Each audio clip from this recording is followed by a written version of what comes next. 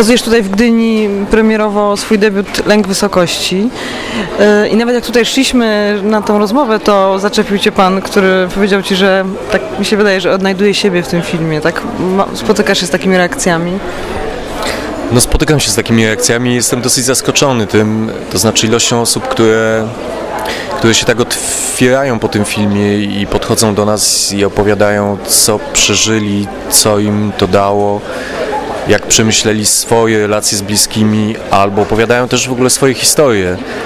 E, ten film jakoś tak działa, działa otwierająco na ludzi, przynajmniej na tych, którzy, którzy podchodzą i chcą o tym porozmawiać w ogóle.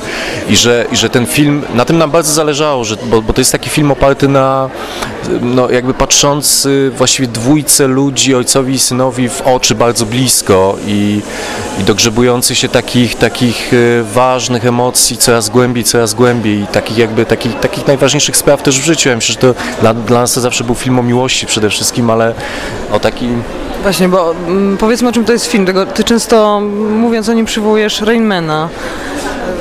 Tak, ale to nie jest taki amerykański film. to znaczy, bo, no, no właśnie, jest to opowieść o, o dwóch facetach. Kiedyś tak myśleliśmy, że to będzie taki buddy movie, ale to, to trochę nie jest tak, no bo to jest też opowieść o, o rodzinie, która się rozpadła, chociaż wszyscy się nadal kochają. To jest taki paradoks w tym i taki, z tego też wynika pewien ból, bo oni sobie w trakcie tej historii takiego zagęszczonego procesu zdają sprawę, że oni się wszyscy nadal kochają i chcieliby żeby było dobrze między nimi, żeby byli, da, żeby mogli być tak blisko siebie, jak byli kiedyś, ale nie wiadomo dlaczego to jest niemożliwe to jest jakby taka specyfika właśnie bliskich związków, że one, te, te bliskie związki, które mamy na przykład z rodziną, ale też e, z bliską osobą, ze swoją dziewczyną czy chłopakiem, one po jakimś czasie obrastają takim chem i taką rdzą, że, że, że już zapominamy, co było pod spodem, że jakby nie, nie można się do tego dogrzebać. I ten film trochę jest o tym, że nagle ten szalony ojciec wrzuca, wrzuca granat w to wszystko, to wybucha no i nagle wszyscy muszą się opowiedzieć, muszą coś z tym zrobić, bo to, bo to, już, nie jest, bo to już nie jest ta powierzchnia, ten chłód, który jest na powierzchni, tylko nagle jakby zaczyna się, zaczyna się, zaczynają się takie gorące emocje. I to jest, to jest ojciec i syn, prawda, przede wszystkim na, na pierwszym planie, którzy jakoś tam próbują się odnaleźć, bardziej syn próbuje chyba odnaleźć, może nie, próbują się odnaleźć. I bardzo dużo takich intensywnych scen, wzruszających, ale też bardzo mocnych aktorsko, myślę. E, jak to wyglądało na planie? Wygląda praca z aktorami? Ja po czasie dopiero zrozumiałem, jakby jakich aktorów szukałem i intuicyjnie jakich aktorów wybrałem. To znaczy myślę tu głównie oczywiście o Marcinie Dorocińskim i Krzysztofie Stoińskim, bo to jest koncert dla tych dwóch aktorów. To jest też taki aktorski film, jakby obliczony na to, że albo te postacie będą i będziemy ich ciekawi przez cały film, albo nie. Wtedy nie ma filmu.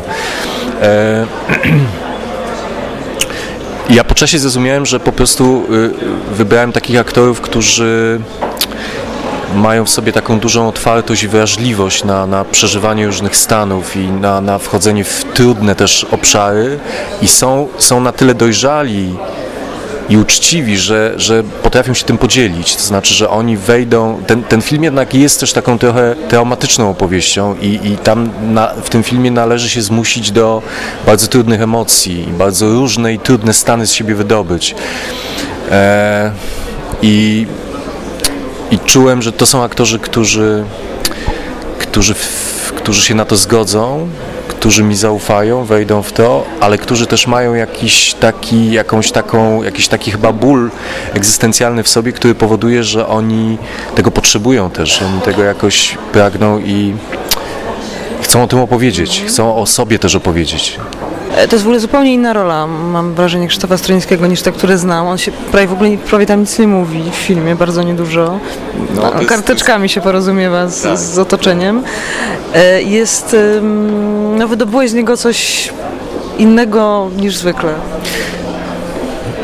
No, to, to, to oczywiście wspólna praca i jego zgoda przede wszystkim jego, jego taka wielka też ochota, właśnie to co mówiłem wcześniej, takie pragnienie, żeby, tak mi się wydaje, takie pragnienie, żeby opowiedzieć też o sobie, myślę, o, o, o jakby o, o swojej osobowości, o swoim stosunku do, do tego tematu.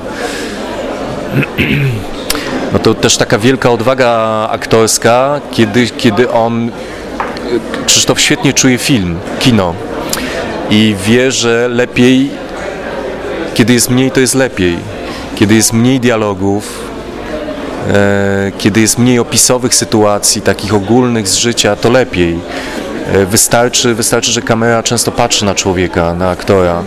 Wystarczy, że on myśmy wiele miesięcy spędzili na rozmowach po to, żeby on jakby tą postać, żeby on się stał tą postacią i żeby, żeby się nią stał w najdrobniejszych gestach. Jeśli ludzie po pokazach mówią mi, że on źrenicami nawet gra, że on właśnie nie musi dużo mówić, bo, bo on ma tą postać nawet jakby w w najmniejszych atomach swojego ciała, no to to właśnie o to chodzi. Potem to już jakby ja tylko, ja tylko rzeczywiście czasami stawiałem taką dokumentalną kamerę na nich i od pewnego momentu oni we dwójkę mnie jako aktorzy, jako ludzie zaczęli mnie bardziej ciekawić i bardziej stali się w mojej głowie tymi postaciami niż pierwowzory, czyli niż, niż mój ojciec i, i, i ja sam, no bo to, to, to leżało gdzieś u źródeł tej historii. To było też dla mnie takie niesamowite, że oni właśnie tak, tak jakby też tak weszli, do, weszli w moją głowę, tak ich pokochałem, tak z nimi żyłem i tak byłem ich ciekaw.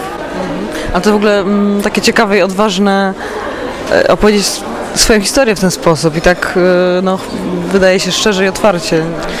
Tak, ale to był też taki proces, który mnie zaskoczył, dlatego że no, przeważnie jest tak, że jak ktoś opowiada swoją osobistą historię, opartą na prywatnych rzeczach, no to no to, e, to, to stara się ją powiedzieć sam, no bo to wydaje się, że to jest taka podstawowa uczciwość i taka, że tylko ja sam jestem w stanie to skontrolować, wiem o czym opowiadam i, i, i jestem w stanie dotknąć, jakby otworzyć się, dotknąć pewnych takich głębokich spraw. Mm, I ja tak oczywiście zaczynałem, ale potem, potem od tego odchodziłem, bo, bo, bo czułem, że no po pierwsze to nie jest fair wobec mojego ojca, bo dotykamy dosyć wstydliwych, przykrych, intymnych spraw. Po drugie, po drugie, że ja już trochę nie mam dystansu do tej historii, ja już nie potrafię odszukać pewnych emocji, które tam były, pewnych, co stało za wyborami bohaterów, że gdzieś to się, wiesz, to, to bardzo trudne psychologicznie, bo pewne rzeczy bo, bo jakby to jest też opowieść o tym Tomku, bohaterze, który, który mm, dał ciała i, i zrobił parę rzeczy, które, e, które są złe i które powodują wyrzuty sumienia i poczucie winy. I wiesz, no i to się nakładało z tym, co ja też czułem, a pewne rzeczy człowiek wypiera, e, więc jakby, więc do pewnych, rzeczach, do pewnych rzeczy nie masz dostępu, a musisz o nich opowiedzieć, musisz je przelać na scenariusz. I po prostu Czułem, że to, że to jest jakby ślepa uliczka i zacząłem szukać scenarzysty. Spotkałem się z Piotkiem Borkowskim, no i to było cudowne spotkanie, dlatego że on miał też osobisty powód, żeby opowiedzieć taką historię i on bardzo dużo też wiedział z racji tego o tym świecie, o, o co to znaczy y, próbować sobie poradzić jak w ogóle, jak traktować osobę z zaburzeniami psychicznymi, a może nie, może manipulującą. Y, drugą osobą, jak, co, co, co odczuwa człowiek, który mm, jest niby zdrowy, ale pod wpływem kontaktów z tą drugą osobą staje się chory. E, on to wiedział, on to sam przeżywał i, i jakby zaczął pisać scenariusz, w którym ja się doskonale odnalazłem i zobaczyłem, że właśnie, że on jakby nie wiedząc, co się ze mną działo, wynalazł sytuację i dotknął takich rzeczy, które ja sam też przeżywałem, a już o nich zapomniałem albo je wyparłem. Tak naprawdę cały ten film dzieje się w ciągu 10 minut, kiedy ten główny bohater na początku filmu trafia do mieszkania ojca i próbuje, szuka tych kartek, próbuje znaleźć jakąś informację, która by mu coś powiedziała o tym, co się stało wcześniej. E, I, i jakby i podczas tego szukania w mieszkaniu ojca bez ojca, on sobie zaczyna przypominać całą tą historię i to, to jest taka narracja wspomnień, także to nam dawało też takie prawo do tego, żeby kawałkować, ciąć i żeby to, żeby ta, te sekwencje na, na Śląsku, poszukiwania, docierania do ojca, żeby one były takie nerwowe i postrzępione.